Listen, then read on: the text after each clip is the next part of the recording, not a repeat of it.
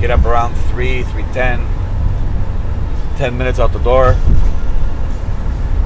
and uh, yeah, just get on my way. I've always, I've always liked to get to work early. I don't know why. I don't, I don't like being late. I freak out when I'm late. Yeah, I'm gonna try to take these two still in the back door. Seven, uh, four two nine, uh, seven nine one. Seven nine one. I could bring that if you need a list. No, it's okay because maybe by that time he'll move and I'll just move the truck, put it in the, the side door.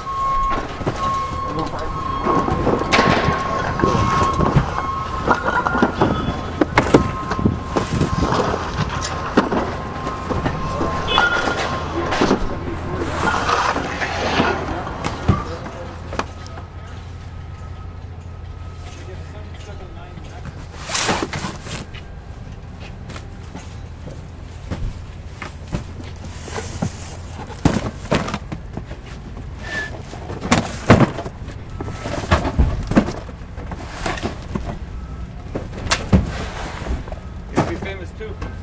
Oh man, I can't wait.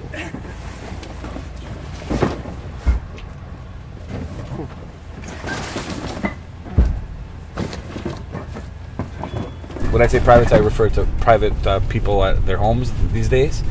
But before it was like uh, pretty much anywhere. We service other businesses, like deliver to some people order wine to their uh, law offices or golf courses, obviously in the spring. Um, like I have a network of guys where I ship to Blue Mountain, so some some ski resorts, which they, they happen to be popular in spring, summer, and fall and winter, obviously. But uh, as you see, when lockdowns are being lifted, you, you automatically see the volume changing, and so hopefully it's a good sign when like Peterborough's kicking right now in Kingston. They're all green. So I go to the, uh, there's a warehouse that we'll see a little later today, and that's like they distribute across Ontario. Again, it's a small agency, and uh, but they are they are servicing the whole province.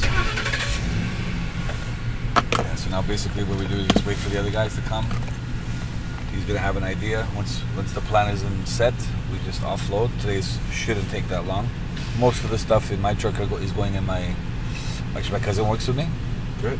Uh, both cousins actually, but uh, because of COVID, he, he's also a contractor. So the good thing is, when we're slow, he helps his brother, or his brother comes helps me, and we try to give each other work. Of course, I have a new product here.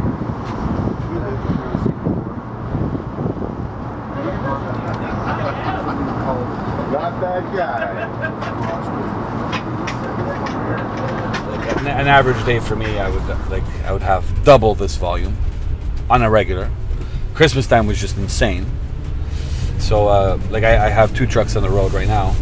Both of them were pretty like today, especially. We're gonna. I'm also trying to keep my colleague like keep him making money as well. So it's trying to share share the wealth kind of thing right now. You'll you'll notice that both our trucks would be fairly empty, but before it was full. Both trucks full every day. Uh, before that, they would expect us to go into the basement, to bring it here, bring it there, and I'm like, for liability reasons, that's not really my job. And uh, you know, I just, but you, you know, you do you can what you can, you know, to, to keep the customer happy, obviously.